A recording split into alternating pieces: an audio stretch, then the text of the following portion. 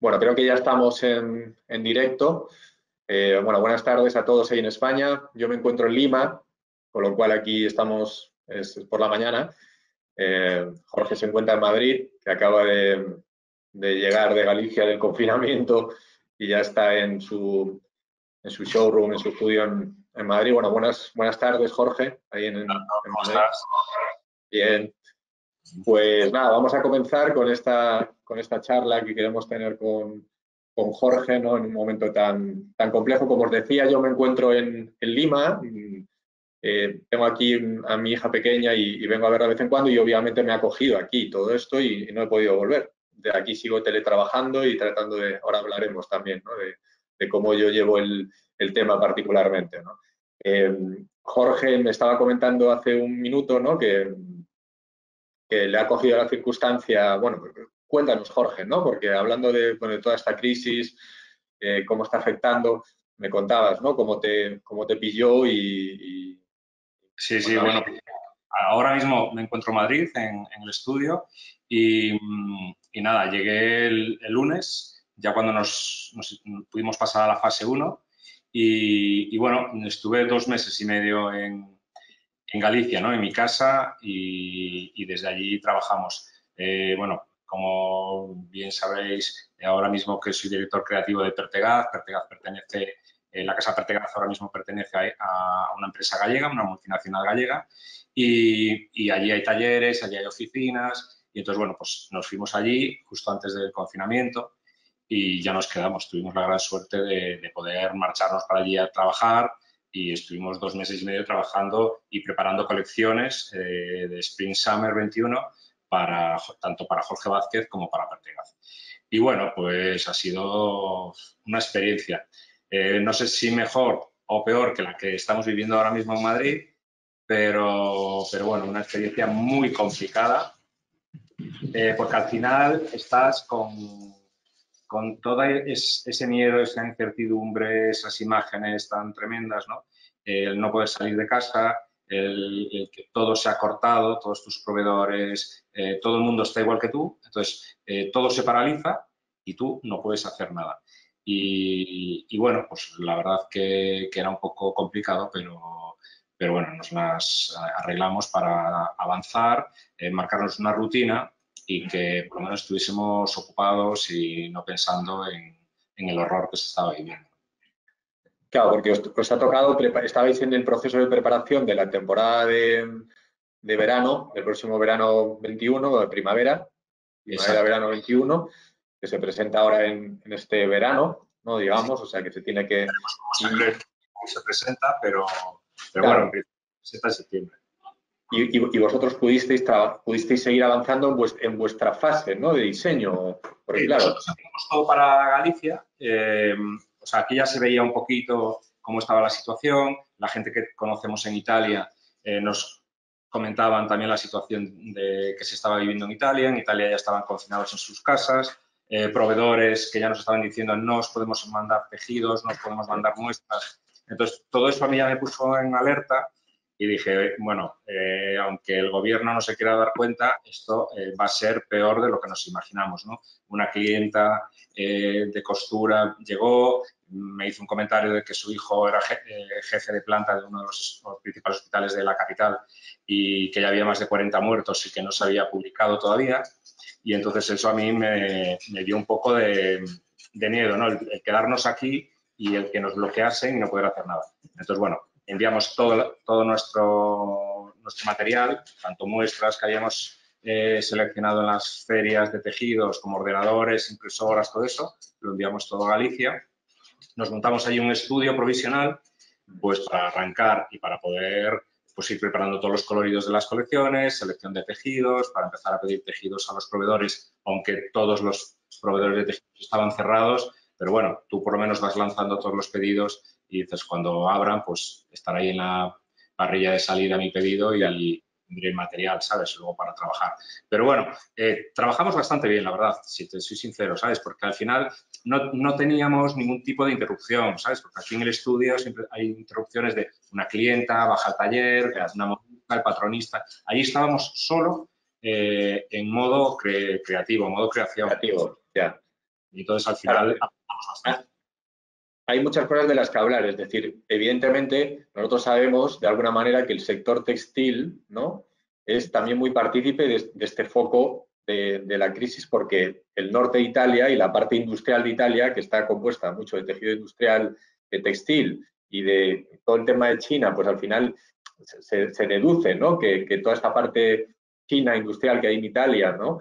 Eh, ha podido ser también parte del foco, muchas de ellas textil, ¿no? porque allí se encuentran veamos muchos, muchos industriales chinos, ¿no? Ya fabricando allí o, con sus empresas allí, ¿no? Entonces, claro, es curioso cómo nos comentas, ¿no? Que además tú te has podido como medio adelantar porque tenías más información de, esta parte, ¿no? De Lombardía, digamos, con respecto a los talleres, sobre todo de tejido, Ya cuando estuvimos en París en los chinos, eh, las grandes eh, compañías tipo Inditex, Mango, sea, ni Corte Inglés, o sea, todas esas eh, compañías ya no mandaron a los diseñadores ni los equipos de compra eh, a la feria. Eso también ya, ya te decía un poco, esto fue febrero. Y, febrero, sí. Y ya la gente, ¿sabes? Ya, de ostras, que los equipos no se están moviendo, que la gente no está viajando, que la gente no va a las ferias. Eh, aquí ya se canceló en esa misma semana la Feria de Tecnología de Barcelona y, entonces, al final, oye, tú ya estabas viendo que algo se estaba cociendo. Entonces, que en, China se estaban muriendo miles y miles de personas, que en Italia eh, empezaban a caer eh, como moscas. Es que los siguientes somos nosotros. Y, gente, yo creo que fue el martes cuando nos fuimos a Galicia, el lunes por la mañana tuve una cosa en el Santo Mauro, en el Hotel Santo Mauro de Madrid, y, ahí ya había un poco de psicosis, ¿sabes? Ya había eh, unas personas italianas que ya te decían, no, no, es que no te doy la mano, no te doy dos besos, estáis locos, el coronavirus no es una gripe, o sea, en Italia se está muriendo muchísima gente y, aquí va a pasar lo mismo. Y entonces yo ese día ya dije, ostras, vámonos, porque, porque claro, es que aquí no vamos a poder hacer nada, nos vamos a quedar bloqueados y paralizados. Y, bueno, la información la teníamos, como tú dices, eh, al final eh, ya, nada, dos días después ya cortaron los colegios, ya los niños todos a sus casas y ya se empezó a, a desmantelar todo, todo el país. Pero bueno, eh, muy animados. O sea, yo me fui al principio, los primeros días estaba muy triste eh, por todas las imágenes que se veían en las noticias y, no quería que eso me afectara al proceso creativo, ¿sabes? Y, entonces dejé de ver la tele, dejé de ver noticias para poder centrarme solo en eh, crear y diseñar, porque al final eh, de alguna forma nosotros tenemos que darle continuidad a esto. O sea, yo no me puedo paralizar, no puedo decir, bueno, ya veremos qué pasa. yo tengo que seguir mi ritmo para que en septiembre, eh, en la fase que estemos, eh, esas colecciones se presenten de la forma que se presenten y que los compradores lo puedan ver y, y, bueno, de alguna forma presentar a la prensa especializada de moda esas dos colecciones, ¿no? Entonces, bueno, eh, no, teníamos muy claro que no podíamos pararnos y que teníamos que, seguir. entonces, bueno, pues a las 10 de la mañana nos fuimos a trabajar hasta las 7 y, la verdad yo creo que a veces de todos estos problemas y estas situaciones es cuando salen mejores las cosas. Y, todo lo que tengo en los paneles y preparado, vamos, está súper bonito. Eh, Pertegaz es una colección muy bonita, es un homenaje a España, lo que vamos a presentar. Y Jorge, bueno, pues es como un poco más exótico y eh, con toques muy especiales. Son dos colecciones muy diferentes, pero muy, Claro, porque yo tenía aquí anotado precisamente preguntarte cómo había afectado ¿no? a, tu, a tu creatividad, incluso ya nos estás contando, ¿no? Pero si hay un antes y un después, es decir, cómo, ves, eh, digamos, de cara al futuro, ¿no? O sea, si realmente no... Fíjate, a mí lo que me Nos ha afectado a todos, ¿no? Claro, lo que más me da miedo era, eh, es el que la gente no compre. Entonces, quizás ahí sí que eh, cuando ya teníamos las colecciones casi montadas, la selección toda de tejidos realizada, eh, me empezó a entrar el miedo a que nos fuésemos de precio. De alguna forma hicimos ahí un análisis de, bueno, cuál será la situación y cómo va a afectar a la sociedad y cómo va a afectar a nuestro público, sobre todo a nuestra clienta, ¿no? Que, que bueno, eh, pues tenemos una clienta que tiene un, poder adquisitivo medio alto, desde luego, eh, bueno, pues le tocará, pero no le tocará tanto como al resto de la población. Y, dices, después de este confinamiento van a tener ganas de gastar, van a, tener ganas de salir, llevan encerradas dos o tres meses y, bueno, eh, hay que darles cosas apetecibles, pero que estén en precio, ¿no? Entonces sí que bajamos un poquito los precios eh, sin perder la esencia y, fue lo que más me, preocupó, ¿no? Pues el, que no se disparase porque, bueno, pues había mucha gente que va a quedar tocada y, después analizar mucho las... Eh, sabes que nosotros tenemos una gran parte de, en colección de cóctel y fiesta, o sea, para bodas y eventos. Claro, todas las bodas y eventos este año se han quedado bloqueados y paralizados. La gente no se casa, ¿sabes? Nosotros... Pero te, estás refiriendo al pre-aporter, ¿no? Igualmente. Sí, sí. A la costura bueno, la costura está totalmente bloqueada. claro, claro, claro, 120 carros para este invierno. Comentar que Jorge, obviamente, durante su trayectoria y, dependiendo de, la fase de su trayectoria, ha tenido mayor intensidad en la fase de, costura, ¿no? O sea, Es, una línea de negocio muy importante para la empresa, ¿sabes? La hago yo directamente, pero, pero bueno, eso se quedó bloqueado totalmente, porque la gente empezaba a escribir y a mandar mails y a llamar y decir, es que mi boda está cancelada, mi boda está anulada aplazada. No el hecho de no tener nuevos clientes, sino de anular eh, pedidos que teníais de bodas, ¿no? Incluso que estaban, en, entiendo que algunos en marcha, ¿no? O sea, que habíais avanzado. Pues estaban en marcha, con lo cual ahí sí que te entraba un miedo a decir, eh, yo ahora, claro, cuando una persona mm, encarga algo en Jorge Vázquez, eh, entrega un 50% por adelantado. Sí, claro, el avance. Claro, tú dices, oye, es que ahora no vaya a ser que yo tenga que empezar a devolver, devolver señales, porque estamos hablando de pues, una pandemia, o sea, entonces ahí ya es una causa de fuerza mayor. Entonces, bueno, tuvimos la gran suerte que nadie ha cancelado, o sea, nadie ha cancelado, y todo el mundo ha pospuesto sus eventos. Y bueno, pues supongo que el año que viene tendremos el doble de trabajo, porque serán las de este año más las del año que viene. Claro, también ese es un, es un tema, ¿no? Cómo se te pueden acumular, digamos, las cosas en, un momento dado del tiempo, ¿no? O sea, se puede hacer un embudo ahí brutal y a lo mejor vas a necesitar más plantilla o vas a necesitar más, ¿sabes? Más gente que venga eh, en temporada a, costura. a ayudar, Pero, pero bueno, en la parte de preta porté, al final lo que queremos, eh, que queríamos también era un poco en esa parte más de cóctel, eh, bueno, la colección hay de todo, hay ropa de, día, de tarde y de noche. Pero en la parte de noche, pues dar más, más oferta más variedad, eh, pensando ya que el, verano que viene pues va a haber muchos más eventos que este año, porque este año la gente, pues por desgracia nos quedamos todos con ganas de, cosas, ¿no? Porque todo el mundo tiene ganas de salir, todo el mundo tiene ganas de ir a una fiesta, todo el mundo tiene ganas de ir a una boda, todo el mundo tiene ganas de comprarse algo para ir a cenar a una terraza y de momento, pues claro, eh, todo eso está parado. Claro, nos comentabas un poco el tema, perdón Jorge. Que quiero pensar que el año que viene lo vamos a hacer todo por, por dos. Claro. Eh, nos comentabas un poco el tema de los hábitos de consumo, ¿no? Es decir, de cómo podían variar, bueno, no tanto los hábitos, sino el tema del precio, la sensibilidad, ¿no? Es decir, más allá de, claro, podemos hablar en general o en tu marca o, en tu proyecto con Pertegaz, ¿no? Que, que, es un nicho concreto, ¿no? Eh, Total. ¿Cómo, crees? Eh, claro, hay una parte de consumo, ¿no? De, hábito de consumo. Hay otra parte de producción, si vamos a producir de la misma manera o vamos a, ofrecer los mismos precios o el mismo producto, ¿no? Entonces, es una de las cosas que a todos se nos queda en la cabeza ahora, ¿no? Porque hay, dos cuestiones, la económica, ¿no? Obviamente, y luego la, la social, la de responsabilidad con respecto a lo que está pasando en el planeta, ¿no? Y que el textil siendo la segunda industria más contaminante del planeta, ¿no? Y tú, Jorge, que has tenido una carrera, como decíamos, tan transversal, ¿no? Es decir, que has estado, Jorge estuvo cuando, cuando éramos ambos más jóvenes con, con mi familia en sus inicios, luego ha estado pues, en Inditex, ha estado en, luego hablaremos también pues, de tu etapa en Corte Inglés, Loewe, es decir, bueno, Sleser ha tenido una trayectoria transversal en el sentido que conoce empresas de un calado muy multinacional y otras más locales o, más de un, nicho de mercado. ¿no? Entonces, ¿cómo, ¿cómo, percibes, más allá de tus proyectos además personales, ¿no? lo que pueda pasar en el sector? A ver, yo creo que el sector al final eh, va a quedar muy tocado, muchísimo. Eh, de entrada porque ahora mismo la temporada está perdida, ¿no? Entonces, eh, las tiendas están y los almacenes están llenos de ropa, ropa que la gente no ha visto, que no ha tocado, que no se han probado.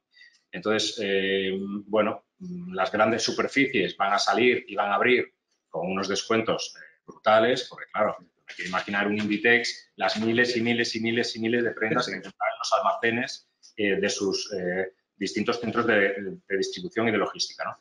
Mi caso, han dicho, han dicho que, que, por responsabilidad iban a, recibir todos los, que decir, que no iban a anular, O sea, que iban a pagar, incluso tendrán que recibir las colecciones, de alguna manera, que las aunque no las pudiesen ni vender, ¿no? Por parte de sus productores.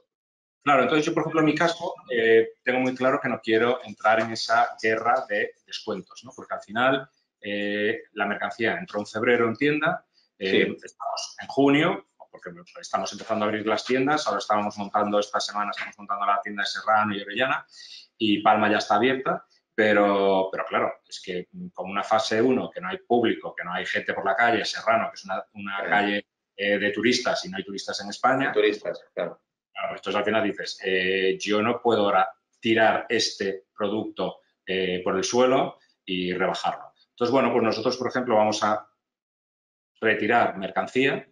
Sí. Eh, mi producto, pues es un producto mucho más atemporal, que todavía se hace en pequeñas cadenas de producción, hay incluso muchas cosas artesanales. Entonces, esto lo iremos adelantando en avance de colección del año que viene, para no quemarlo, porque es que al final... sí, porque no, porque no es tendencioso además, con lo cual lo puedes dar como continuidad.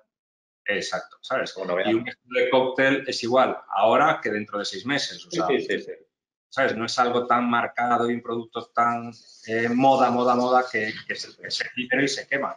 Entonces, no podemos permitirnos ese lujo. Porque, ¿qué estáis haciendo? Que no lo hemos hablado. O sea, claro, aquí en moda funcionamos en, cuando hay retail además, funcionamos en, tres diferentes tiempos, espacios temporales, ¿no?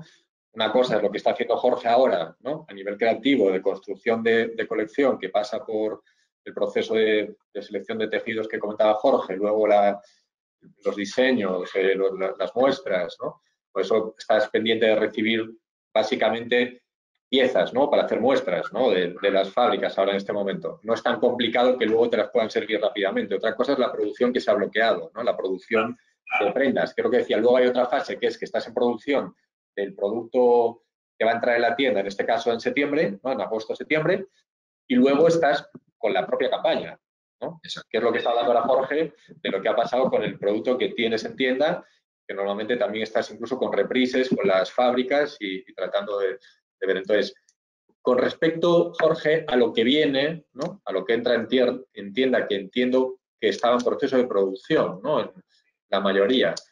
¿Cómo estáis con ese tema también? Pues mira, ahí estamos eh, reduciendo, reduciendo volumen, porque al final a mí me da miedo eh, que no sabemos si va a haber un rebrote. No sabemos eh, cómo va a actuar el público a la hora de consumir, ¿sabes? Porque, bueno, de entrada, pues hoy ha sido el primer día que la tienda estaba abierta y sí que ha entrado gente en la, tienda. La gente, al final, eh, que si la mascarilla, los guantes, los geles, los líquidos, o sea, todo esto es un lío y a la gente ya le da pereza quizás el proceso de ir a la tienda y probarse. Entonces, bueno, pues estamos reduciendo un poco lo que es la colección, la producción, perdón, de invierno, que entrará en septiembre en, en tiendas y lo bueno es que nosotros tenemos la agilidad para ir metiendo producto en tienda, ¿sabes? Entonces, iremos metiendo a medida que vayamos necesitando eh, y que el público vaya demandando eh, mercancías, ¿sabes? Y modelos. Y, haciendo pocas cantidades de series, o sea, para que se agota y punto. Y metemos otro.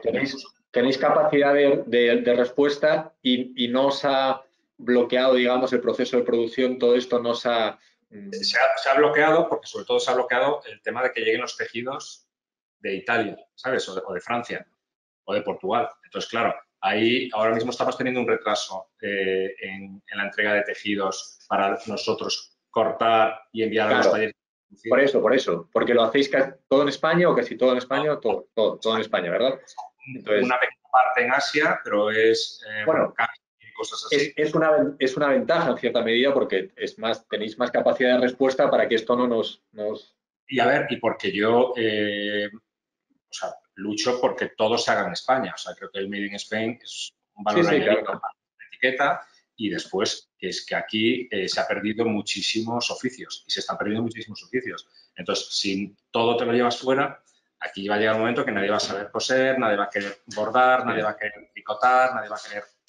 Entonces, bueno, es, es parte del debate si ahora se va, se va, se va a volver a, al, proceso... Hombre, yo creo que tendría que volver, ¿sabes? Yo creo que tendría que volver y, dar trabajo aquí y volver a formar a la gente y volver a montar talleres y volver a montar industria, porque al final eh, el músculo empresarial en cuanto a moda se, ha ido destruyendo. Antes aquí había talleres de todo tipo y, miles de personas trabajaban en el sector textil. Claro, ahora cada vez trabaja menos gente. Entonces yo lucho por eso, ¿sabes? Por, bueno, pues de alguna forma eh, la sostenibilidad y el, poder hacer aquí eh, todo, ¿sabes? Claro, yo, yo con respecto, por ejemplo, a, mi proyecto actual, que, que, bueno, que Jorge más o menos conoce un poquito, que es un proyecto infantil, que se llama Guabalán, que justo tenía en proceso de, lanzamiento, ¿no? Con, con, el arranque del proyecto que llevo trabajando un, tiempo ya. Y precisamente habla un poco de esto, ¿no? De los valores a construir en el planeta. Es una marca infantil en torno a los valores, pero es una marca de moda también, con una colección de moda. Y he fabricado aquí en Lima, precisamente, o sea, en el sentido más local de la palabra, porque yo estaba aquí, ¿no? Y, yendo precisamente yo a los talleres y, trabajando con gente, digamos, de talleres no artesanales, pero casi, ¿no? Como, como los que se pueden trabajar en España. Y con cantidades pequeñas, eh, con algodones peruanos. Ahora estoy viendo la opción de llevarme la producción a, España o a Portugal, que al final más o menos viene a ser lo mismo, ¿no? Porque creo que fabricar en Portugal sigue siendo eh, una opción local prácticamente. O sea, nosotros en Galicia, como sabe Jorge, si fabricamos en, el norte de Portugal, pues realmente es, es como, es como más una, una, quinta región ¿no? de Galicia. Entonces, creo que yo, yo no sé, no, no, sé si soy especialmente optimista, ¿no? porque al final hay que ser realista con lo que es el planeta y con lo que vemos. Ojalá y, tenemos la oportunidad todos ¿no? de, dar ese paso adelante en cambiar las cosas pasa primero, creo, por, obviamente por las instituciones, porque apoyen los proyectos que se basan en esto, ¿no? es el primer principio, ¿no? El, dar ese apoyo. Y luego, por, que es una cosa que te quería preguntar también, ¿no? Por el consumo de la gente. Al final estamos en manos del mercado y de la responsabilidad de la gente y del consumo responsable de la gente, ¿no? Y que la gente apueste. Es decir, que si yo me tengo que comprar, eh, por no hablar de un vestido de Jorge, pero si hablamos de una camiseta, por dar un ejemplo más básico, sabe que Jorge, no sé si, habéis hecho, hacéis camisetas, creo que sí, ¿no? También, ¿no? Pero claro, no es una camiseta, digamos, obviamente tiene un proceso, tiene una calidad, tiene una fabricación, tiene una exclusividad y un diseño. Entonces, claro, si yo me compro una camiseta, sea básica o no, ¿no? Porque independientemente de que sea básica, y, y me cuesta 12 euros, pues obviamente, bueno, pues me podré comprar 15 como es a lo mejor durante el año. Si me compro una de 60, pues igual solo me puedo comprar dos, ¿vale?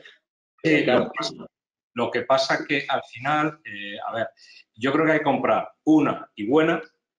¿Sabes? Yo, lucho por, eh, por volver eh, a una compra mucho más pensada y no tan alocada como estamos consumiendo ahora mismo. ¿no? Ahora mismo la gente está desbordada con un consumo brutal y la tiene los armarios llenos de ropa mala. O sea, entonces, hay que comprar con cabeza y sin que te timen. O sea, porque al final yo hago una camiseta en Portugal y a mí la camiseta, imagínate, me cuesta 20 euros de fabricación. Con un algodón buenísimo, incluso un algodón reciclado de la pera, o sea, unos acabados en un, taller, ¿sabes? Muy artesano, muy bien. Y bueno, pues yo puedo vender esa camiseta a 90 en mi tienda. El problema son las grandes marcas, que esa camiseta te la venden en 500.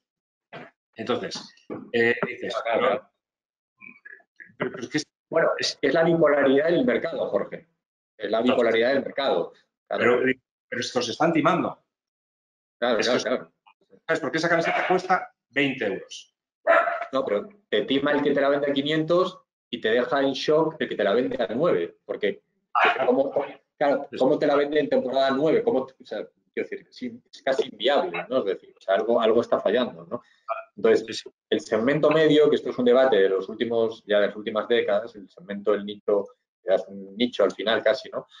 eh, pero que sigue habiendo mucha gente que compra en ese segmento medio, por desgracia se ha convertido casi en un nicho el segmento medio, ¿no? O sea, porque, claro, eh, tenemos los multimillonarios, ¿sabes?, que se pueden gastar millones y millones y millones en, ropa sin sentido y luego está el low cost que abarca obviamente pues el 99% del planeta. Entonces, este segmento medio, que es el que hay que apoyar y que va a crear proyectos más únicos, con más sensatez, un comercio más justo, ¿no? lo que hablamos, un precio justo, un comercio justo. al final no se trata de que sea caro, sino que sea justo ese precio.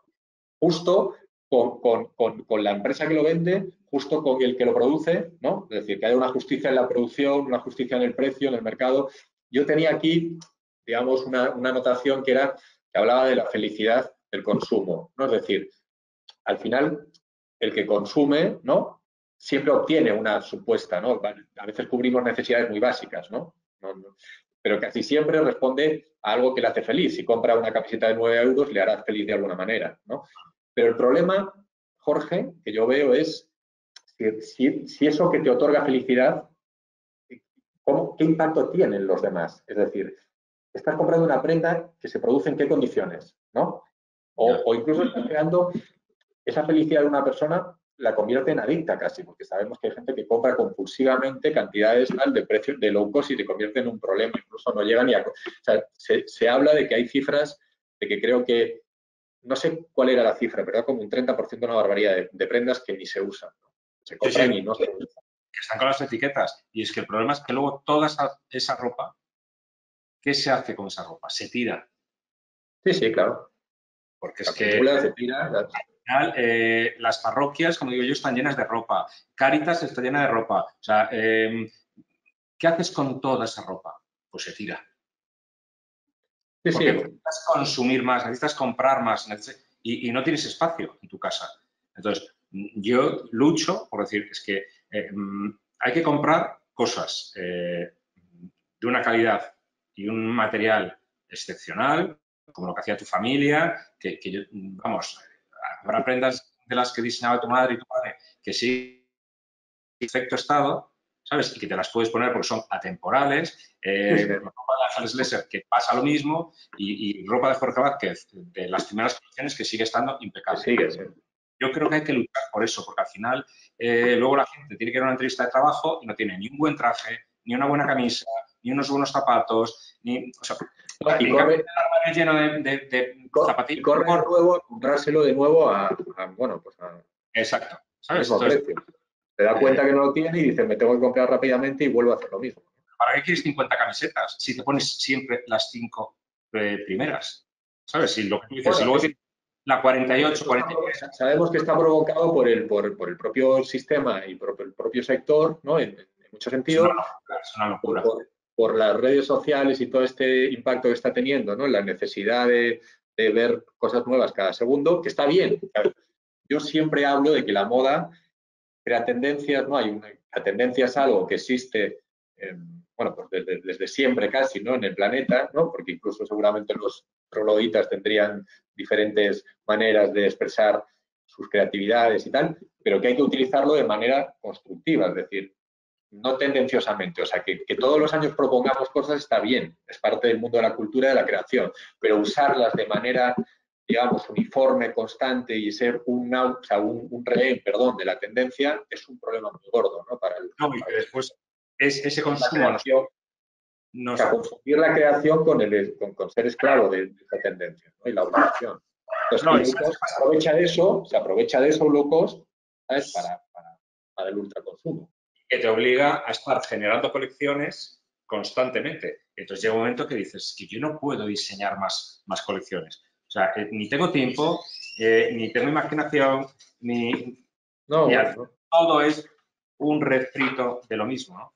Entonces yo creo que lo importante es tener dos colecciones, en mi caso, ¿sabes? Y creo que muchas marcas internacionales, pues Armani eh, ya está pensando en solo tener dos colecciones, olvidarte de tanto crucero, de tanto resort, de tanto free porque al final ese consumo, o sea, una chaqueta de Armani no está eh, obsoleta eh, en tres meses.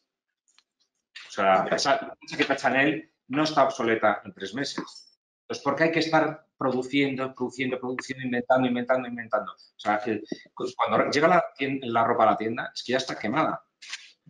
O sea, yo, soy partidario de mantener una colección casi de continuidad en general, o por lo menos con una continuidad, aunque sea temporal. Y luego estamos, desde hace años tenemos esta, esta opción de las cápsulas, además, ¿no? De crear cápsulas. ¿Sabes? Que ahí sí que uno puede de repente lanzar un, ¿sabes? una colección especialmente más tendenciosa, creativa, conceptual, ¿vale? Y ponerla en el mercado, ¿no? O sea, tenemos esas armas, ¿no? Entonces, claro, ahora con el tema de lo digital, por ejemplo, ¿cómo, con, este confinamiento y que la gente ha tenido como que aprender incluso a estar conectado de esta manera, ¿no? Gente que no, que no lo hacía, ¿no? O herramientas que no utilizábamos todos.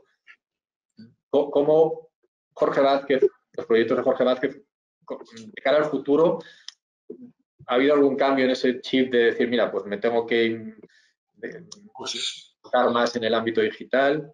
Bueno, pues ahora em, estamos todo eh, viendo cómo vamos a presentar estas dos colecciones, porque eso es lo que más nos preocupa ahora mismo, eh, sobre todo para poder llegar a todos los clientes internacionales que tenemos y los que tenemos que, conseguir. Claro, si ya no hay ferias, si ya no puedes ir a la feria, eh, de alguna forma tú te las tienes que ingeniar para mostrar esa colección. Entonces, bueno, no se van a poder hacer desfiles y entonces tenemos ahí como dos proyectos de, hacer algo eh, totalmente virtual, eh, con modelos, pero que, bueno, va a ser como una película, donde eh, podamos hacer un montaje que, todo el mundo lo pueda ver en streaming el día tal a tal hora. Y, bueno, creo que eso es una forma de llegar a más público, pero es más impersonal. Al final la moda tú lo tienes que ver, tú lo tienes que tocar, tú lo tienes que sentir, lo tienes que oler, ¿no? O esa magia de un desfile no, se va a poder proyectar en un vídeo eh, o en un montaje audiovisual. Entonces, bueno, yo estoy ahí luchando para que sea la forma más eh, que nos llegue más al, pues al corazón, ¿no? Porque esto, nosotros vendemos magia, vendemos eh, ilusión y, tiene que llegar para que la gente lo vea y la gente diga, pues lo estoy viendo y, y está modelo eh, irreal y el montaje es con, con eh, un, eh, ¿cómo se llama esto? ¿Cómo se hace? Ciclorama, ¿no? Es, o sea, pues, todo eso es mentira, pero la gente se lo tiene que creer. Lo único que hay de verdad es, será la ropa, la ropa estará y estará producida y, la podremos comprar en, entonces, bueno, eh, estamos ahí luchando con eso y ver cómo, eh, cómo lo podemos hacer. Tenemos eh, reunión ahora también con la Asociación de Creadores y con ACME y con lo que es en Mercedes de Fashion Week para ver cómo se van a presentar esas colecciones y, de alguna forma que todos nos pongamos de acuerdo en cómo hacerlo, ¿no? Pero, pero bueno, me parece un poco complicado, parece un poco complicado. Claro, porque dos cosas. Normalmente ibais a asistir a ferias más allá de la presentación en... Claro, o sea, nosotros íbamos a París, ¿sabes? A París, claro. Eh, Yo que suspender, yo tenía ahora Playtime de infantil en julio. Entonces... está, eh, claro, está anulado. No podemos ir. Bueno, eh, vale, pues ¿y yo qué hago con todos esos clientes o posibles clientes internacionales? Pues bueno, a los que son clientes tú les puedes mandar sí. tu Formación. Exacto. Pero ¿cómo ganas a otros? Ese es el gran problema y es lo que ahora mismo eh, estamos tratando de, ver cómo podemos ganar. Bueno, pero incluso a los que son clientes no les vas a mandar la colección o, pretendes mandarles. No, ni siquiera. Tendrán que arriesgar más de lo habitual porque no verán la, lo bueno es que clientes que a veces ya comprábamos, ¿sabes? Eh, por foto y eso, que a lo mejor no podían viajar a París, por de Dubái y tal, y nos compraban colección por foto. nosotros mandábamos ya una selección de, productos que sabíamos que les podía encajar en la línea de otros pedidos, de otras temporadas, y, ellos hacen el pedido así. Este año pues lo va a tener que hacer todo el mundo, incluso los nacionales. A lo mejor los nacionales en el momento que se puedan eh, mover se desplazarán a Madrid al showroom a, a comprar la colección, ¿no? Pero el problema son los internacionales. Ese es el gran eh, handicap que tenemos ahora mismo que no sabemos muy bien cómo eh, tratar este, bueno, este tema. y el turismo, porque incluso, imagínate, pues no sé, no, no, sé si vosotros estáis en Corte Inglés de alguna manera ahora representados o con Prategas vais a estar o... Eh, claro, eh, al final, una gran empresa como Corte Inglés, que yo estoy hablando mucho ahora también por Guabalán, ¿no? porque entramos en corner digital y vamos a, valorar entrar en corner físico, claro, ahora abren, ¿no? Esta semana están abriendo en, determinados sitios, ¿no? Como Galicia, pero no sé si... Claro, pero al final va a sufrir mucho, sobre todo para determinadas marcas que están en corte inglés que viven del turismo. Es decir, eh, muchas marcas que venden corte inglés, su, perfil más potente es el cliente internacional, ¿no? Y no sabemos aún cuánta gente va a venir a España ahora, ¿no? Y hasta, hasta cuándo va a frenarse el turismo internacional. Más allá de que dejen entrar, pero cuando dejen entrar, ¿quién va a querer venir, ¿no? Con el miedo. sí, y va a estar durante mucho tiempo creo, ¿no? Porque al final, eh, hoy, por ejemplo, salían las noticias en Barcelona, eh, pues mm, hubo un caso de un cumpleaños, creo, entonces 40 eh, personas en un cumpleaños y se han infectado. Entonces, ya se han parado en Cataluña. Entonces, claro, como no somos conscientes de que nos pensamos que como ya podemos salir, el virus ha muerto, pero es que el virus no ha muerto. O sea, el virus está ahí. Sí, no, no, claro, claro. Bueno, a ver, creo que el calor sí que va a ayudar porque yo estoy aquí en Sudamérica y ahora las cosas están peor porque la temperatura ha bajado y pese a estar confinados, llevamos confinados 11 semanas y ahora está peor que antes. Es decir, el calor es una, es una ruta a favor del virus, perdón, en contra del virus y, creo que eso va a ayudar mucho en España y ya está ayudando. Por lo cual ahí creo que, que, bueno, yo soy más optimista por eso, porque veo lo que está pasando aquí con respecto a las temperaturas. ¿no? Entonces, mientras Ahora hay dos o tres meses en España, o hasta cuatro meses, donde si, si las cosas se hacen un poco bien, ya no muy bien, el calor no, no hace que el virus esté medio dormido, ¿no? O sea, puede haber contagios, pero, no, o sea, aquí hay muchos contagios, ahora mismo hay 5.000 contagios al día aquí, en Perú, de lo que se sepa, porque no se sabe ni la mitad de lo que se sepa, pero no produce tantas muertes, a pesar de, o sea, está produciendo ciento y pico muertes al día, ¿no? En un país sin, sin salud sin, sistema de salud. Entonces, es el calor y la humedad lo que está haciendo que el virus esté, contagia, pero la carga viral es, baja. O sea, ese contagio no es preocupante como puede ser lo que pasó en, España en otoño, en, perdón, en primavera. Pero bueno, en cualquier caso es lo que decía, no sabemos lo que va a pasar también con, con el impacto de las compras de los, de los turistas en España en tus propias tiendas o los puntos de venta como Corte Inglés o alguna multimarca que viva especialmente del, cliente Claro. Entonces, bueno, son, tantas, digamos, eh, incógnitas que tenemos que lo importante, como decías tú, es, bueno, por no perder el, el camino de lo que podemos seguir haciendo y luego reflexionar sobre lo que viene, ¿no? Decir, oye, pues cómo yo puedo aprovechar esto de manera constructiva de cara incluso al propio sector, ¿no? Eh, porque, claro, em, por ejemplo, ¿no? Em, a nosotros em, se nos acusa además de ser un sector especialmente ególatra, ¿no? muchas veces, ¿sabes? ¿no? Pues bueno, ahí este, este, ¿no? Pues es normal, ¿no? También tenemos este mundo, ¿no? De la moda con, tanto, con, esta parte no material, ¿no? Que, que, está alrededor de nosotros y que evidentemente construye también las marcas, ¿no? Eh, pero luego, claro, si estamos destruyendo el planeta, ¿no? O sea, de qué vamos a presumir, ¿no? O sea, es lo que es mi reflexión, de qué queremos presumir, ¿no? Más allá de, aportar felicidad a la gente, si luego estamos en la balanza, ¿no? Y ya no hablo de casos personales, sino del sector, ¿no? Como sectorialmente, ¿no? Hombre, a ver. cuando hablas de la, de la asociación de ¿no?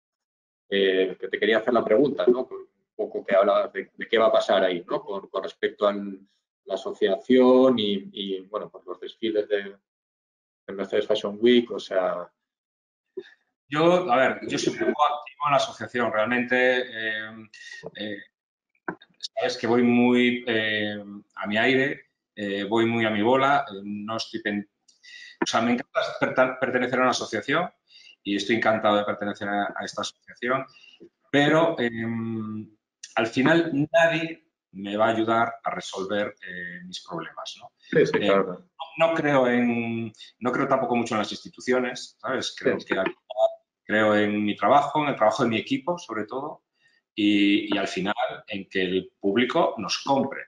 Y, y tú sabes que yo he sido tachado mucho, durante mucho tiempo de eh, comercial, de el diseñador que diseña para las pijas y, bueno, pues como, como y muchas otras cosas. ¿no? Pero al final, em, eh, Tom, eh, lo que hay es que mantener, tío. Lo que hay es que aguantar, em, luchar por seguir teniendo el negocio, luchar por seguir trabajando, vendiendo. Entonces, yo nunca he, querido pasar a la historia por ser el diseñador más vanguardista. Eh, yo tenía muy claro que para mí esto era un business y era un, proyecto de, continuidad. Es que si no, no se Entonces, eh, ¿qué va a pasar es, con... tu talento y tu trabajo también, ¿sabes? Las dos cosas. Al final, eh, ¿qué puede pasar con toda esta gente que, somos en, España? Es que se está cayendo tanta gente y te da tanta pena. Sí, sí. Ahora se acaba de caer Carmen Marx también. también también, o sea, cerrado, está liquidando todo. Entonces, eh, cuando ves todas esas cosas, eh, digo, que bien que yo voy como a mi aire, que nada me ha salido. no quiero contaminarme de todas estas historias y, tampoco el estar en reuniones donde qué vamos a hacer y qué no vamos a hacer y que, nos, tienen que ayudar y el ministro. Pues si es que el ministro no, va a nada. si es que me va a dar la mano y una palmadita y bueno, venga, chico, eh, yo ya te digo, Jorge, creo más en el apoyo que nos puedan dar al sector desde las campañas de consumo responsable, es decir, de que la gente aprenda. O sea, luego tú eres el que tienes que posicionarte en el mercado y ofrecer tal, no que te ayuden a, a vivir de. Y después, mira, eh, eh, el, ser responsable, o sea, mi ropa es responsable. O sea, yo no, utilizo eh, materias primas éticas. O sea, todo eh, fibras naturales. Eh, eh, procuro eso, que todo sea lo más local, lo más artesano. hay una producción que se hace en Portugal, pero es que Portugal nos da 100.000 vueltas. tiene, O sea, tiene un, poder industrial brutal, son súper trabajadores, muy luchadores y, yo creo en eso, en un consumo con cabeza, pensado y, no lo loco, y, que es lo que se está viviendo ahora mismo. Y al final, el comprarte 50 camisetas, comprarte 50 pares de zapatos, no sé cuántos jeans, que, la gente no es consciente de todo lo que contamina, los lavados de los jeans, que, es que mm, todos esos vertidos de tinta azul eh, están ahí y la gente no los quiere ver. Sí. Entonces, eh, pues bueno, cuando me decías, tú fabricas fuera, es que es que en Asia no fabrico nada. O sea, fabrico dos cosas de cashmere, porque en España ya no hay quien fabrique cashmere, eh, pero nada más. Y en Portugal tampoco. Si lo, me lo hiciesen en Portugal, fabricaría en Portugal. Y, ¿sabes? Pero hay gente que, mata por irse a China. Pues, oye, piénsatelo, ¿sabes? Piénsatelo. O sea, es que no te están haciendo ningún favor en China y estás perjudicando muchísimo a, muchísimas cosas. Entonces, eh, no todo es el precio, no todo es eh, eh, las cantidades. Bueno, yo eh, prefiero ir a mi, a mi bola y, y, eso. Todo mucho más controlado y ser más pequeño y, hacer algo que, pues, digno y, bueno, pues con una conciencia muy limpia, ¿sabes? bueno, voy a ir también comentando que de cara a cuando, digamos, estemos finalizando la, la entrevista con Jorge, eh, podemos pasar a un pequeño turno de preguntas. Eh, veo que, ya hay alguna pregunta en nuestro chat de preguntas. Digo, por si alguien quiere ir eh, mandándonos las preguntas a través del chat de preguntas, el de preguntas, no el chat normal, sino el de preguntas. luego intentaremos hacer las, las, cuestiones en una última tanda. Jorge, entrando también un poco ya también en tu trayectoria ¿no? y, en, todo lo que llevas encima ¿no? en este sector, que ya son muchos años trabajando para otras empresas y para tus proyectos personales, ya son, no sé, cerca de 15 años con Jorge, ¿con cuántos años? Sí, 15. Con Jorge, no más, más, más. Con Jorge ya casi 20. Ah, voy a hacer 20 años. Cerca de 20 ya. Bueno, pues ya, ya son dos décadas, que no es poco, con tus propios proyectos personales, aparte de, llevar en el sector, eh, pues como 25 años, ¿no? Casi.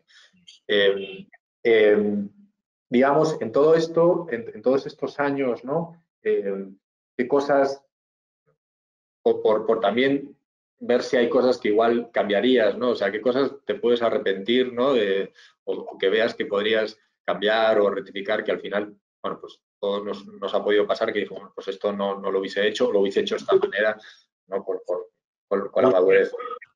Eh, en cuanto a, ya, en cuanto a, en cuanto a trabajo, eh, yo no me arrepiento de nada de lo que he hecho ni de ningún sitio en el que he estado. Yo creo que todas las empresas en las que he trabajado y he colaborado eh, creo que he dado el 100% y, mm, y he aprendido muchísimo, muchísimo, muchísimo. Eh, de Inditex, que fue mi primer trabajo con 18 años, bueno, pues trabajar con tu familia, trabajar con Slesser, trabajar en Loewe. O sea, realmente en todos los sitios aprendí un montón, un montón. Mm. En cada uno aprendí unas cosas, ¿sabes? Eh, pues en unos la calidad, el patronaje, los acabados, el valorar, el valor de una prenda, ¿sabes? El decir, es que esto vale esto porque está hecho muy bien, porque el tejido es muy bueno, porque el patrón, eh, hay un estudio de patronaje muy bueno, pero también he trabajado con el corte inglés y he sido director creativo eh, de 12 marcas, marcas. inglés y, he tenido que manejar 12 equipos eh, con 12 marcas muy diferentes, con eh, niveles de precio muy diferentes y, de una colección de tallas para curvis a una colección de más joven. ¿Te puedes imaginar lo que te hubiese pasado a día de hoy si hubiese estado aún en ese perfil? ¿sabes? Porque Jorge estuvo durante un tiempo largo al frente, como decía, ¿no? de, de todas las marcas digamos, blancas, entre comillas, de corte inglés, ¿no? De todas las marcas propias de, corte inglés, o de casi todas, ¿no? No sé.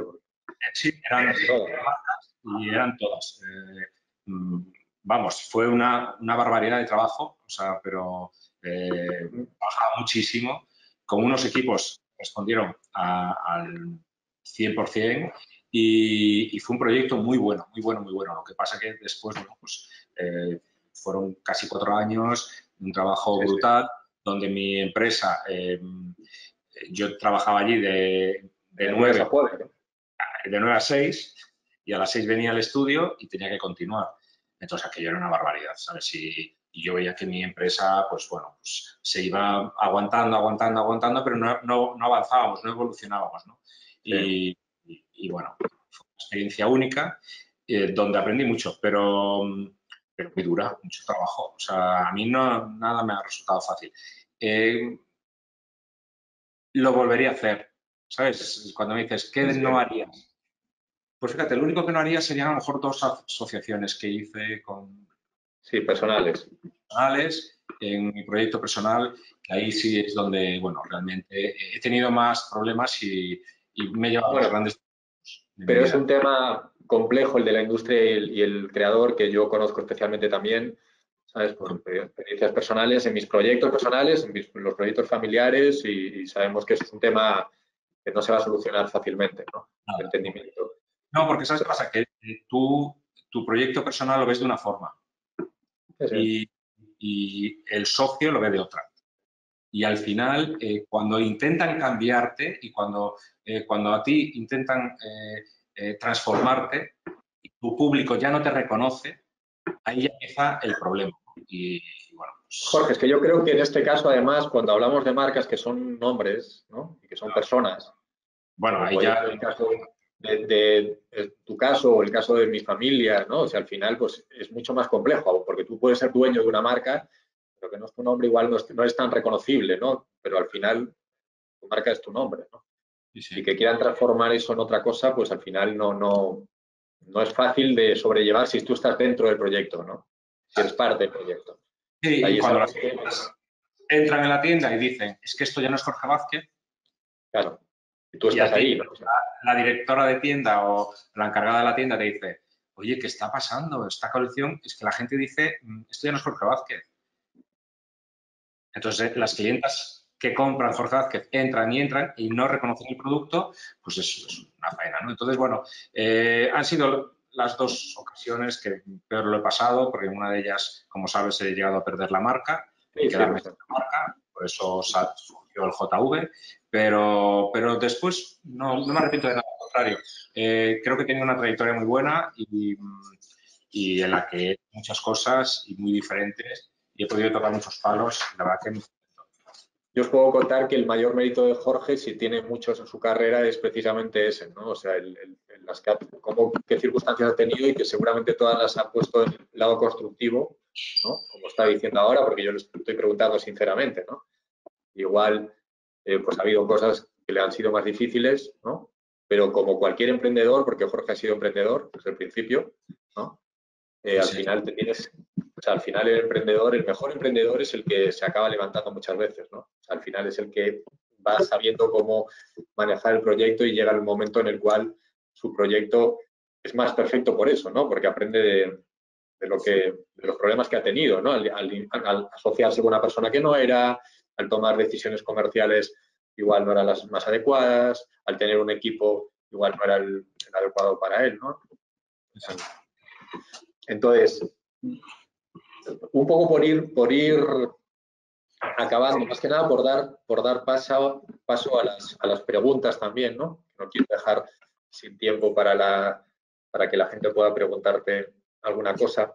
Em, ¿Cómo te ves tú? O sea, yo conociéndote, sé las dificultades que has tenido en momentos determinados, ¿no? Lo duro que ha sido y, lo que nos cuentas, ¿no? De que estás ya también como en determinados momentos cansa, ¿no? La moda es muy, muy complicada, muy dura. Ser emprendedor, ser creador, las dos cosas, ¿no? Ser un creador y ser un emprendedor a la vez. Eh, ¿Cómo te ves? Mira, hemos hablado muchas veces de, de, tus momentos, de, cómo te veías incluso el año siguiente, ¿no? Porque dices, bueno, ya no he cansado de todo, ¿no? ¿Cómo, te ves de verdad en, como en 20, 25 años? O sea, como realmente, ¿cómo querrías verte? Pues mira, si te digo la verdad... ¿Qué edad tiene? Ortega, por decir, ¿sabes? O sea, un, pues... Estamos hablando de gente de con 80 y pico años, sigue ahí como... No, no, bueno, sí, no. Como en, en, la moda, loco. Porque además creo que hay que dar paso a, la gente joven, ¿sabes? Y, y al final yo creo que lo bonito es eh, decir adiós en el momento más álgido, ¿sabes? Y más alto de tu carrera. Porque cuando ves que tú ya no puedes y que empieza ese declive y que ya eh, tu ropa ya no empieza a gustar o te empiezas a repetir o te empiezas a estancar. A mí siempre me da mucho miedo el estancarme, ¿sabes? El, hacerme mayor y que mi ropa... Que no te des cuenta, que no te des ni, no, tú no ya te das cuenta literalmente, ¿no? Entonces, yo eh, creo que al final eh, mis clientes van creciendo conmigo, se van haciendo mayores conmigo, pero es que yo tengo que ir pescando y capturando a, la gente joven, ¿no? Para que claro, claro, ¿sabes? siga y siga, Al final, eh, esto sería una marca de dinosaurios.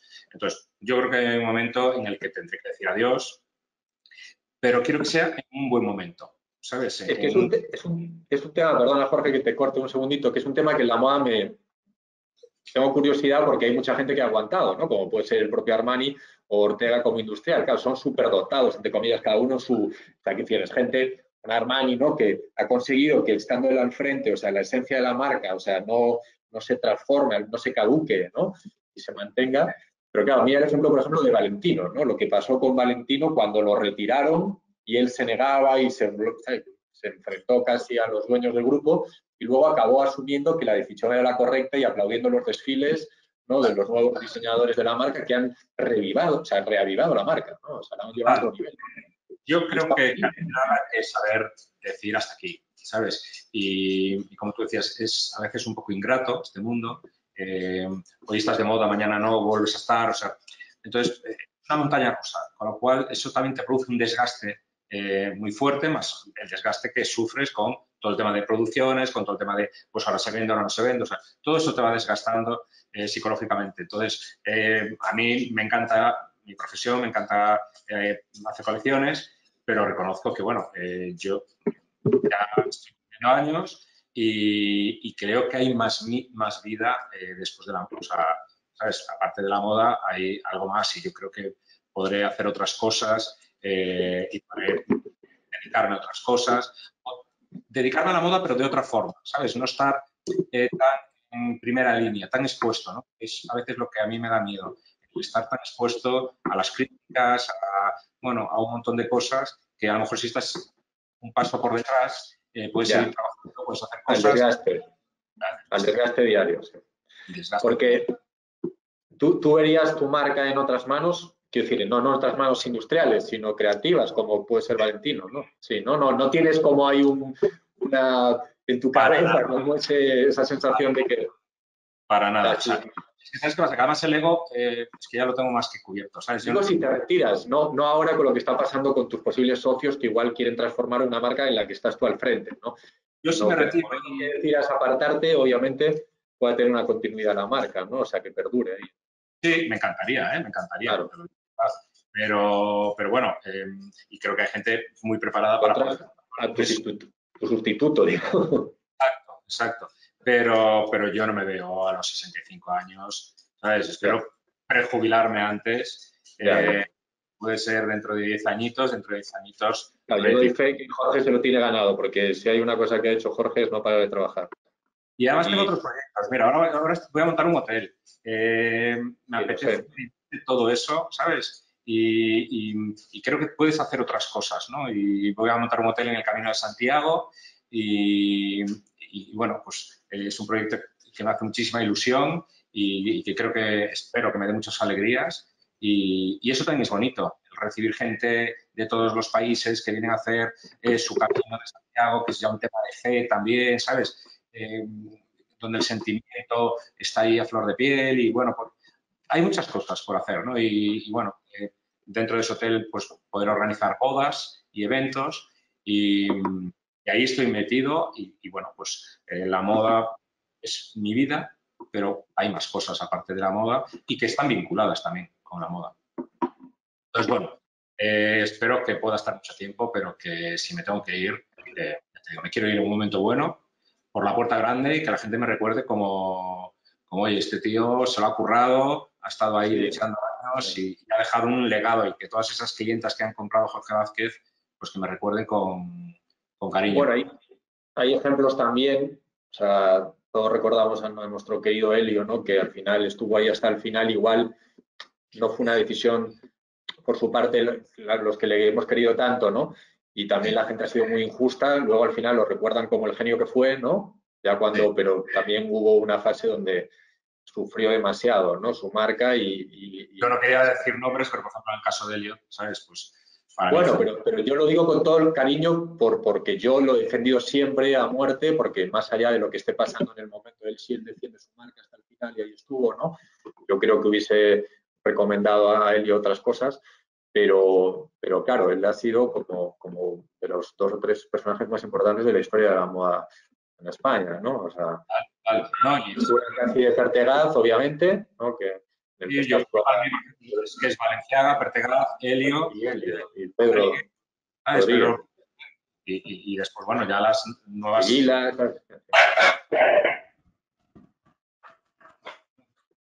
las nuevas generaciones, pero y que es una pena que todo eso se pierda.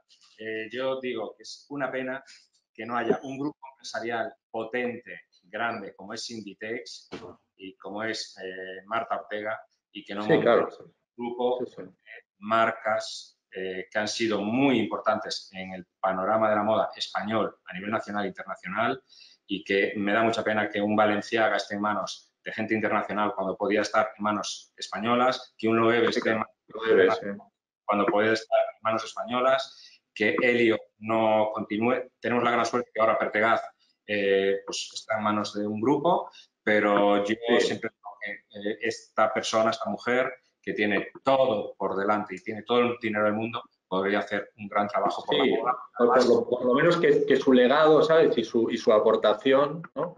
Exacto. Yo, yo, yo, a Marta no la conozco, conozco, a Mancio y, obviamente yo tengo mi opinión y he hecho proyectos con Inditex y, tengo mucho, contacto con ellos igualmente y no dejo de dar mi opinión sobre lo que creo que tiene que ser el sector, ¿no?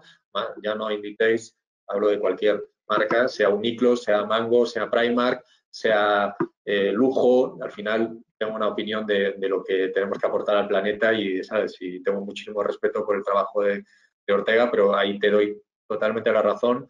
Igual que hemos tenido proyectos como Purificación, ¿no?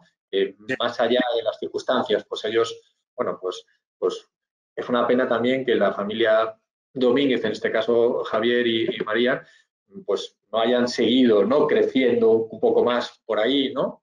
Creo que podían haber Hay marcas dormidas ahora mismo eh, que es una pena perderlas, ¿sabes? Y, que eh, eso en Francia no pasa. O sea, en Francia todo se, vuelve a, como que, han como que precisamente a Valenciaga se lo han, se lo han, se lo han quedado, ¿no? O sea, y justo es el ejemplo perfecto de un restyling de marca, ¿sabes? O sea, le han dado la vuelta totalmente, ¿no? Eh, como estaba haciendo. Una que la gente joven, mm, a lo mejor que nos está escuchando, no lo conoce y de verdad es un, diseñador que ha tenido escaparates en Verdós Guzmán, en la Quinta Avenida, en Barnies, que ha ocupado portadas de eh, Vogue América, de Harper's Bazaar América, de Vogue París. O sea, dices, es que esa marca estaba dormida, estaba muerta. Helio igual, o sea, Helio eh, eh, fue lo más, ¿sabes? Entonces dices, qué pena. La gente no sabe que a Helio lo, llamaron para, para, para, ser San Logan, digamos, es decir, o sea, Helio estaba en, en, primera línea de ser diseñador número uno de Dior, es decir, o sea, y no quiso, él no quiso. Helio decidió, pues, esa es la realidad, ¿no? Que, que, eso se pudiese llegar a hacer y me encantaría poder llegar a verlo, ¿sabes? Que, que todas estas marcas nacionales, eh, pues haya alguien en un gran grupo que haga algo por esto, porque además yo creo que se lo debe ¿no? a los diseñadores. Yo creo que hay que ahora podría y debería ser el momento de que pase eso y además que se creen, a partir de ahí se trabajen marcas que, se diferencien no simplemente por, por, ser lujo, digamos, como puede ser Loewe, ¿no? O como puede ser una marca como Valenciaga, sino por aportar algo al planeta además, es decir, hacer un proyecto desde España con diseñadores y creadores españoles que puedan estar detrás del proyecto y a la vez ¿no? aportando desde España un cambio en ese sentido, ¿no? que, nos lo debemos ¿no? a todos. Pero bueno. Incluso el grupo que tiene marcas y es que, ¿sabes? No tiene una española. Entonces, dices, pues un gran grupo como Puig eh, Nacional, es Nina Ricci, eh, marcas todo internacionales, ¿no? Y de Rabanne. Rabanne, bueno, y, y creo que pero que al final creo que, no, que ya no hacen nada de, ropa, solamente todo el tema de perfumería y cosmética. Pero, pero bueno, que me encantaría ver eso. Eso sí que me gustaría llegar a ver. Bueno, vamos a pasar entonces, para terminar, que tenemos unas cuantas preguntas, ¿vale? Voy a repasar el panel. Bueno, Estela Rodríguez. Eh, bueno, primero, mm, no sé si Estela, si, si eres compatriota nuestra porque pone orgullo de gallegos ¿no? y un corazoncito, entiendo que igual también ella es paisana, nos pregunta si creemos que, esto va a tener un impacto positivo de, cara a la centralización de la producción. ¿no? Eh, te pregunta Jorge también si que tus temporadas son atemporales, ¿no? Eh, si, si, te planteas ampliar este tipo de prendas y abocar por una sostenibilidad, es decir, que ya con esta situación trabajes de otra manera en ese sentido, si por lo menos está en vuestro, sí, Sí, eh, o sea, eso está en nuestra mente y igual que todo el tema de prendas de continuidad, ¿sabes? O sea, queremos que haya dentro de la colección una serie de prendas de continuidad que se mantengan temporada tras temporada, eh, porque no, se puede estar desechando toda esa ropa y, bueno, y que tiene que haber un vínculo y una línea que siempre esté ahí y, podamos estar produciendo y alimentando talleres eh, nacionales, ¿sabes? Para, bueno, poder colaborar con ellos y que no estés ahí cambiando de producto constantemente y que todo sea como mucho más fácil y más, eh, más llevadero. Claro, porque ella nos pregunta el impacto positivo en cuanto a la centralización de la cadena de producción. Yo, yo creo personalmente que algo de impacto positivo sí va a tener, obviamente. Hombre, un poco por... Se ha despertado la pequeña, ven gorda, que se ha despertado mi, hija. Ven, ven gorda. Ven a saludar, ven. Ven. Ven, ven, ven. a saludar. Se la lleva su mami. Espera, van a saludar, ven. Ven gorda, ven. No quiere saludar. Ven, gorda. Mira. Mona. Acaba de despertar. Yo creo que sí, que va a tener más impacto ¿no? y que va a ser eh, mucho más importante el, el, poder hacer aquí todo y, sería, sería lo conveniente. Bueno, yo creo que como mínimo ya la gente se lo está planteando, está, está, está preguntando, o sea, como que ha vuelto el interés, ¿no? Por ver en qué posición, ¿no? Y entra también el miedo, ¿no? De qué va a pasar, ¿no? O sea, mejor encontrarme en manos. Un consumo local y un veraneo local, o sea, un turismo local, ¿sabes? O sea, al final todo eso yo creo que, que la gente lo va a tener mucho más en cuenta, ¿sabes? Y, y es que además ahora mismo hay que ayudarse los unos a los otros. Claro, la, propia Estela nos pregunta, porque ha lanzado unas cuantas preguntas, que qué va a pasar, que, creemos que va a pasar con el fast fashion, ¿no? Y bueno, a ver. Eh, va a estar ahí. Es, una pregunta muy compleja. Ojalá esto, ¿no?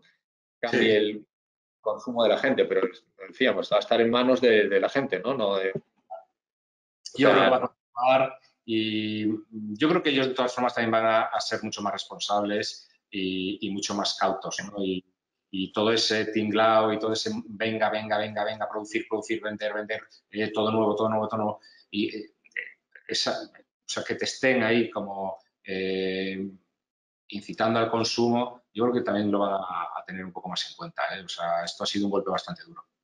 A ver, yo creo que se me ha venido a la cabeza, no sé si recordáis, ¿recuerdas tú este documental de McDonald's, Jorge, que hubo de Super Size Me, que que hizo esta persona que se fue a comer a McDonald's durante un mes seguido y, bueno, pues como que parecía que se iba a morir incluso por, por comer ahí, ¿no? Iba al médico y tal.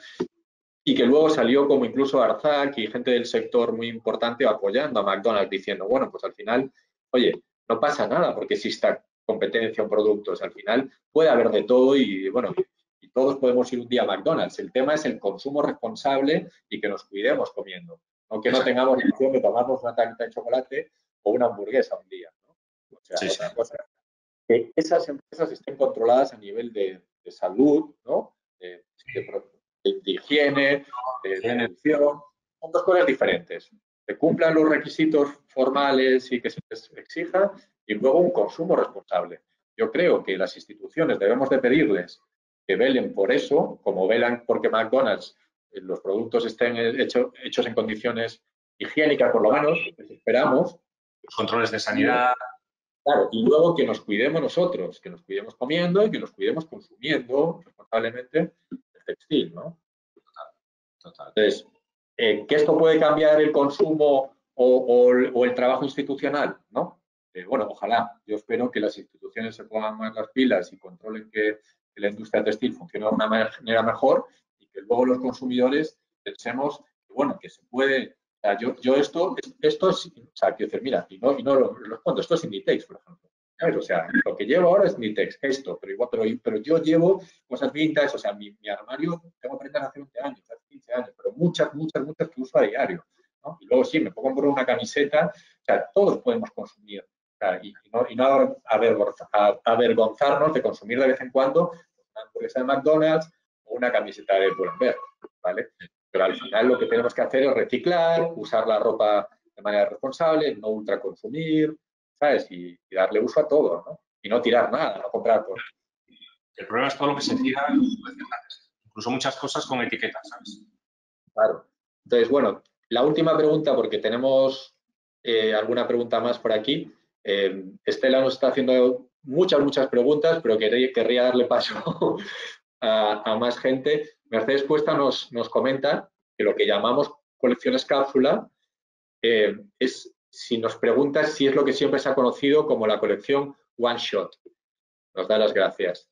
Eh, la verdad es que yo personalmente nunca había escuchado el concepto de One Shot como colección de moda.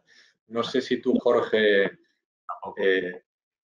Eh, este, Mercedes, mm, nosotros, bueno, Jorge tampoco ha escuchado ¿no? lo que significa One Shot como colección de moda. Eh, te explicamos un poquito la cápsula en el, en el, fondo para que puedas entender es lo que puede hacer, por ejemplo, H&M con, con, los diseñadores eh, que contrata para hacer una colección como Moschino, como Vitor Rolf, eh, Versace o los, las decenas incluso de diseñadores. Son cápsulas de colección diseñadas por, por, otra, por otra firma para una marca en concreto o luego las colecciones que un propio diseñador conceptualmente, ¿no? En un momento determinado puede lanzar como, como guiño al mercado, digamos, ¿no? O como capricho, como, como, entonces, por Jorge de repente decide hacer una cápsula eh, pues en un momento temporal concreto porque cree que, Cada uno decide, ¿no, Jorge, lo que quiere hacer con una cápsula. Totalmente. Yo, por ejemplo, ahora nos vamos a plantear, como os decía antes, reducir mucho la colección, eh, un poco en, esperando a ver qué pasa con el mercado y cómo reacciona el mercado, y luego iremos lanzando cápsulas, pues, eh, para ir refrescando esa tienda y para ir refrescando las tiendas multimarca. Entonces, bueno, pues de repente una será eh, una temática marroquí, otra será pues una temática Perú con unos bordados peruanos, tal. O sea, para ir alimentando y refrescando esa colección. Pero, pero vamos, que, que yo realmente creo que al final nosotros eh, nos quedaremos con dos colecciones y, muchas marcas dejarán de hacer todos esos resort y prefall eh, porque no lleva a ningún lado y volverán pues a, dos colecciones y quizás alguna cápsula. Comenta la propia Mercedes que, realmente es el mismo concepto y que su concepto viene de la lencería y la corsetería y lo que ah. era por, asemejarlo. Al parecer en la, lencería y corsetería eh, existe el one shot y nos habla que es como un concepto de refresco de temporada.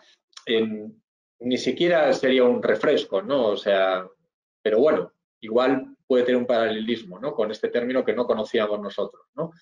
Eh, refrescar a veces es como, sí, bueno, pues, pues incluso poder hacer, eh, repetir prendas, ¿sabes? O, pero bueno,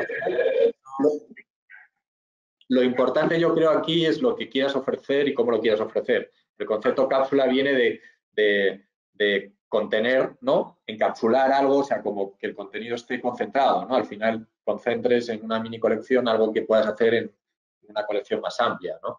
Y puedas ofrecer un producto más, que igual puede tener que ver con el precio, ¿verdad, Jorge? Al final, pues a veces sacas una cápsula para hacer una cosa más económica. Eh, bueno, por seguir, para tratar de, dar paso a alguna pregunta más, eh, Domini Lucas nos pregunta que no, pudo escuchar bien lo de que Jorge decía que ya no se estaba produciendo en España demasiado y que él sigue produciendo también para apoyar el sector. No, no sé si nos puede refrescar un, segundito, Jorge, eh, este tema. ¿no? Sí, porque a ver, al final aquí eh, con la huida, en el momento que Inditex empieza a producir todo fuera, el corte inglés empieza a producir fuera, todas las grandes superficies empiezan a producir fuera, eh, claro, aquí todo el mundo quería producir fuera para entrar en esa competencia de precios y, bueno, aquí todo era, producir aquí es mucho más caro, eso está claro, pero, pero yo creo que ahora hay una vuelta, nosotros en ningún momento hemos producido nada fuera, en el, bueno, hubo aquí ahora pues, dos temporadas que hemos pertenecido a un grupo eh, empresarial que era el grupo Scalpers y sí que ahí se hacían bastantes eh, prendas y bastantes eh, modelos de las colecciones pues en fuera, fuera y tal. yo no estaba de acuerdo con esto, creo que, bueno, yo prefiero producir en España. aquí hay gente, productores fantásticos que incluso producen a unos precios muy, eh, bueno, pues muy asequibles y no hace falta tirar los precios por el suelo como se hace en Asia. ¿no? Entonces, simplemente en Asia producimos eh, cashmere, que aquí no se puede producir, y, el resto se hace todo a nivel nacional y en el país de al lado, que es Portugal, ¿no? que, son, para mí son como hermanos. Y entonces eh, trabajan muy bien, una calidad fantástica eh, los precios son unos precios razonables y, calidad-precio está muy eh, acorde. Entonces, bueno, yo eh, pues lucho por eso, porque todas las empresas vuelvan a producir aquí, porque si no nos vamos a quedar sin artesanos, nos vamos a quedar sin gente preparada en el sector y, el sector de la moda, pues el tema empresarial se, se perderá y, nadie podrá producir aquí, nadie podrá continuar con esto, ¿no?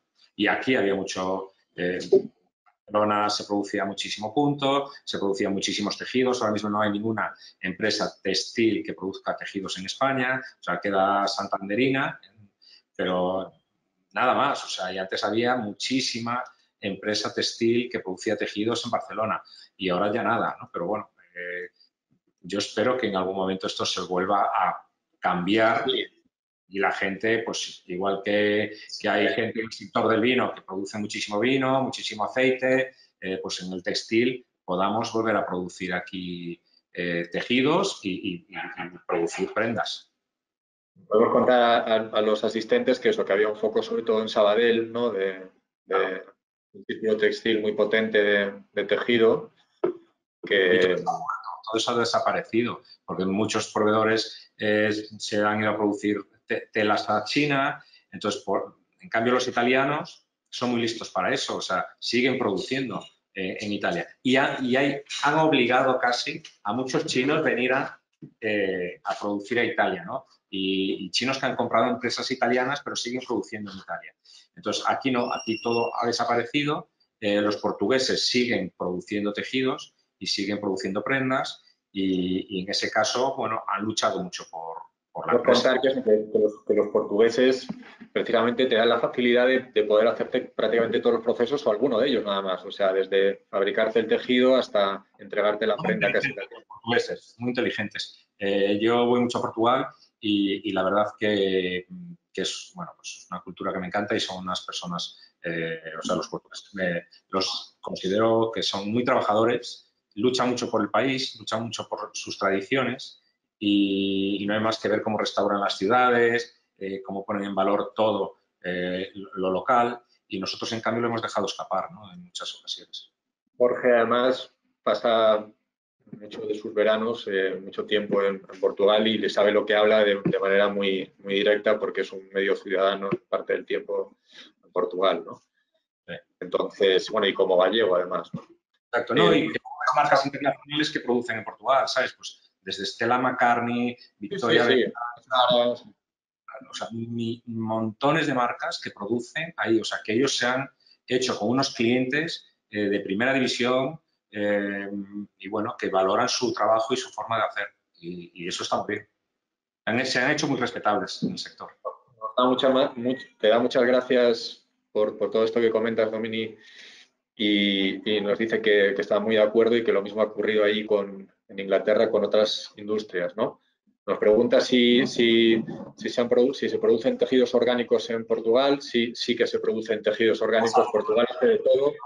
Incluso tiene, tiene, empresas de reciclaje de tejido, o sea, eh, tiene una industria muy sofisticada. ¿sabes? Eh, totalmente eh, cuñados, o sea, que tú incluso puedes poner a tus prendas una etiqueta aparte de valor, ¿sabes? Donde valoras ese algodón reciclado, ese lino reciclado o esa seda reciclada. Eh, bueno, es, que son fantásticos, ¿verdad? Trabajan muy bien, muy bien, muy bien.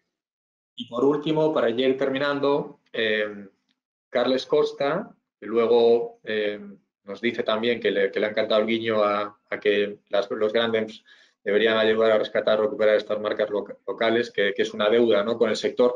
Que es verdad que, al final ahí, en este guiño que estábamos lanzando y que lanzaba Jorge también en especial, ¿no? Eh, hay una cuestión de deuda también, ¿no? Es decir... Eh, que ellos han, bebido de esos diseñadores. Claro, o sea... Eh, Todos los diseñadores en general, ¿no? Claro, yo creo que la moda. Hay una deuda de creativa del siglo XX, ¿no? En general, ¿no? Sobre todo de, pues, de los grandes creadores de, de mediados de siglo, eh, pero luego hay una deuda también industrial del, del, del, trabajo que se hizo en los 70 y los 80 eh, por parte de mucha gente que luego ha quedado ahí en el, el olvido, ¿sabes? O bueno, que no han podido y que han consolidado un sector que se ha hecho muy grande en el mundo, ¿no? Este sector de industria española del textil con mucho mérito también, ¿no?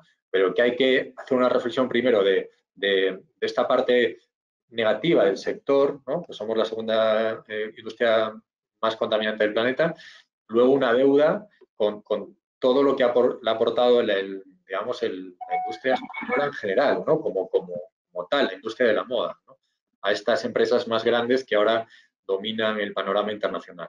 Entonces, bueno, eh, gracias a Carles también por, por, eh, por, la deuda que, nos concede, a, nuestro favor. Eh, para ir terminando, bueno, pues Domini nos vuelve a, ¿sabes? a agradecer ¿no? en la charla y que hablemos en nuestros términos y muchas gracias y por, ahondar en la pregunta que nos mandaba Carles, aparte de agradecer eh, que hagamos esta, y para cerrar, nos pregunta, eh, bueno, Inma Tapia, que no me quiero olvidar, que ha salido ya del, digamos, de la charla, No sé si Inma la conoce porque te da muchas gracias y que, nos que os veréis pronto, seguramente, y te da un saludo. No sé si os, conocéis, pero dice que, en breve os veréis, igual es una clienta. Ah, eh, te mando un saludo y que en breve os, veréis. Eh, Carlos nos, nos, pregunta, a terminar, eh, si, si creemos que la apuesta de las marcas en, el sector debe ser buscar el equilibrio entre el segmento medio con otros productos. Entiendo que dice si debemos, si, realmente una apuesta sensata es, ofrecer, un, producto de segmento medio, pero que pueda también, ¿no? Como, como tocar hacia arriba o hacia abajo, ¿no? Yo, por ejemplo, en mi, eh, hablando ya a nivel personal, eh, cuando he intentado bajar eh, de nivel, me he estrellado. Entonces, no sé si es que yo ya estoy tan encasillado en un público y en un segmento que, que me cuesta el subir, pero también me cuesta el bajar, ¿sabes? O sea, si, yo pongo algo muy caro en, mis tiendas, pues cuesta mucho venderlo. Y las tiendas multimarca no me lo compran. Y si pongo algo muy barato, porque bajo la calidad o bajo, ¿sabes? Eh, el diseño, bajo, bueno, pues el patrón y todo eso, tampoco me lo compran. Entonces, eh, estoy ahí demasiado encasillado ya en un segmento que, bueno, lo que tengo que ofrecer es novedad, calidad y continuidad. lo que yo puedo aportar a lo que comenta Jorge con respecto a su proyecto y en general también desde mi experiencia, poco también de, crear marca, al final es complicado luego expandir tu mercado. Al final tú tienes un nicho muy concreto y al final si tú quieres hacer un producto diferente, cómo llegas a ese mercado en tu campaña, en tu comunicación, en el reflejo de tu retail, ¿no? Con respecto a, tu producto, no es sencillo, ¿no? O sea, tendrías que hacer una apuesta un poco más grande, ¿no? Para de repente tener una segunda línea y trabajar en pues, Al final tú podías conseguir unas botas de agua de Jacobs por 20 dólares en New York, en una tienda concreta donde él vendía como cosas divertidas y tal. Y Jacobs lo ha hecho maravillosamente. Es el ejemplo, es uno de los mayores genios de, del siglo XXI en la moda, ¿no? Como ha estado en todo, ¿no? O sea, en sus marcas, en, los grandes grupos dirigiendo otras marcas, como puede ser Vuitton. Y si veis el, el, el reporte del documental de Jacobs de hace un par de años o así, que donde se, se, acompaña a Jacobs con sus procesos creativos para sus propias marcas y para, para Vuitton y tal, pues veis también el estrés al que se somete alguien que Jorge ha vivido con el tema del corte inglés y su propia marca, ¿no? Entonces, es muy difícil mm, hacer eso, ¿no? Entonces, claro, para Jorge igual en su marca además es casi inviable, ¿no? Él, quiere, él se va a centrar en, ¿sabes? en su estrategia y ve que no, que se va a dispersar. Yo le comento a Carles que es una buena estrategia. El tema es saber cuándo hacerla, cómo hacerla, qué medios tienes que tener y si realmente al final incluso oye, encaja en tu manera de, trabajar. Exacto. Es decir, a lo mejor yo es que no, no, no, no estoy preparado para este, este producto y no es mi, manera de trabajar el producto, ¿no? Porque se mantiene. es tu nicho, entonces eh, te estás metiendo ahí en que la gente no te reconoce, ¿sabes? Entonces pierdes, la energía, pierdes el foco, pierdes el, mensaje, ¿no? Hacia el consumidor y eso te puede acabar destruyendo, puedes acabar perdiendo clientes en vez de ganarlos, ¿no? es la identidad y al final... Yo siempre recomiendo que cuando uno quiera abarcar más mercado tenga mucho cuidado, obviamente, ¿no? Porque una cosa es la, el crecimiento orgánico de que las cosas cada vez se hacen más grandes porque tu producto llega a más sitios y de, maneras mejores y otra cosa es querer llegar a diferentes eh, nichos o, segmentos o, perfiles de, consumidor. Eso puede destruir tu propia marca. Y no, y, si lo haces, es que lo tienes que hacer con un grupo empresarial. De equipo, sí, sí. Tan potente, tan potente, tan potente, que ya la locomotora ya, ya funciona. O sea, ya va sola. Entonces, eh, ya vende todo lo que le eches, ¿sabes? Pero intentar tú hacerlo y nada, yo por propia experiencia lo he intentado y, al final he tenido que plegar velas y decir, no, mira, bueno, eso, eso te, ¿sabes? También te, es, por tu parte, reconocer eso además es algo que te, ¿sabes? Que, que, bueno, que es muy de agradecer, ¿no? Que no todo el mundo puede reconocer que de repente algo pues, por su camino, ¿sabes? Y que de repente tiene que, Y tú lo que no puedes es vender mentiras ni, ni vender una película, ¿sabes? Eh, la gente no la puedes engañar. Y, hay, que ser, hay que ser fiel a, ti y ser sincero y con la verdad por delante siempre. y en tu caso, suficiente de desarrollo de negocio tienes porque tienes la costura, la novia, porque tienes el preaporte diferentes, luego estás trabajando en dos marcas, o al final, bueno, pues es suficiente diversificación por lo menos de tu trabajo, ¿sabes? No, y el que quiere abarcar más, a veces eh, no puedes, no puedes abarcar tanto, ¿sabes? Entonces es preferible un poquito más. Claro, porque en la moda siempre pensamos que podemos llegar a todo y a cualquier, o sea, que somos como... No, no, yo mira, la colección ahora de Pretegaz el 31 de, enero, estuve todo el mes de noviembre y diciembre eh, con las defensas por los suelos, el estrés, ¿eh? Y, al final eh, es tan la cantidad de trabajo que tienes que hacer. Eh, el estrés, los nervios, la presión, los medios de comunicación, que sabes que están pendientes de todo eso. Y llega un momento que dices, uff, es que con esto tengo bastante, es que no quiero más. O sea, es que no quiero ni crecer más, ni, ni, ni, hacer otra marca, ni... No, porque al final lo intentas y es preferible que lo que hagas lo hagas bien y esté a la altura y, no abarcar muchísimo, intentar vender mm, camisetas a 20 euros, es que no es tu guerra, ¿sabes? Es que no, eh, no, pero también voy a vender bolsos de no sé qué, no, no es mi guerra, o sea, prefiero... aparte yo, yo desde aquí ya para finalizar, bueno, primero, antes de todo, de darte otro mensaje cariñoso, ¿vale? Porque no me quiero olvidar, de Magali Fedriani, que no sé si en este caso sí que la conoces, que te da enhorabuena por la colección Soberbia con, con Pertegaz. Eres un crack y muchas gracias a los dos que le ha encantado la sesión. Eh, no me quiero dejar a nadie que, nos está dejando sus comentarios. Eh, por también hacer una, reflexión con respecto a esto, yo quería decirle a la gente que esto es un sector muy duro, ¿no? Obviamente, que, quien se meta en este sector, tanto como empresario, como creador o como la doble función, que sepa dónde se mete, o sea, esa es la realidad, es un sector muy complicado, muy bonito, muy duro, que, te, va dejando cadáveres por el camino, esa es la verdad, pero es apasionante, obviamente, ¿no? todo lo que hay detrás de, una industria, de una creatividad como es la del sector textil, pero que al final sabemos, lo, conocemos, las, los problemas de salud que crea también, ¿no? Y está hablando Jorge de lo que ha podido afrontar él, ¿no? Incluso pues gente como el pobre McQueen, ¿no? Ejemplos de ese tipo, ¿no? De llegar a, a... Entonces, que manejemos muy bien la salud también, ¿no? O sea, ahora que estamos pasando esta crisis, ¿no? Yo de verdad que pensemos que lo importante somos nosotros, ¿no? Que nada está por delante de, la salud y, de tu gente, que, igual el vértigo, además, si te conviertes en, una personalidad en el sector, el vértigo te puede afectar a la salud y a, la mente, ¿no? El vértigo mal llevado. Personal, ¿sabes? Que eso es fundamental. a tu vida personal. Claro, claro, claro. entonces, Jorge sabe todo, sabe muy bien todo esto, ¿no? Por, todas sus circunstancias y yo también lo sé y, cómo afecta en muchos ámbitos y lo podemos decir de manera muy, muy cercana y con muchos ejemplos. Entonces, os invitamos, ¿no? A, pues a, los que estéis, digamos, empezando proyectos o, creyendo que, que, se puede, que se puede, ¿no? Y sobre todo, yo recomiendo que hagáis algo que os llene tanto a vosotros que compense el camino, además. Exacto.